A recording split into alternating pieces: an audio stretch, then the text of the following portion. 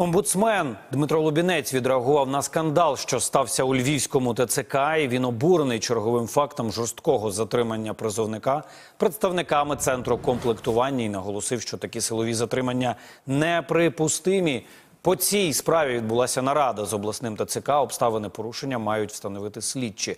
І нагадаю, що у Львові працівники ТЦК силою затримали волонтера Кирила Тарана.